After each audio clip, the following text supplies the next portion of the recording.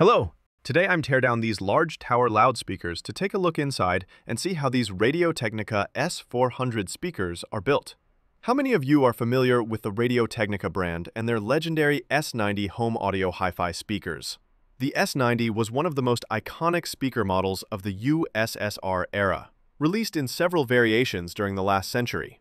But the Radiotehnika S400 belongs to this century. This S400 is the first edition with an 8-ohm impedance.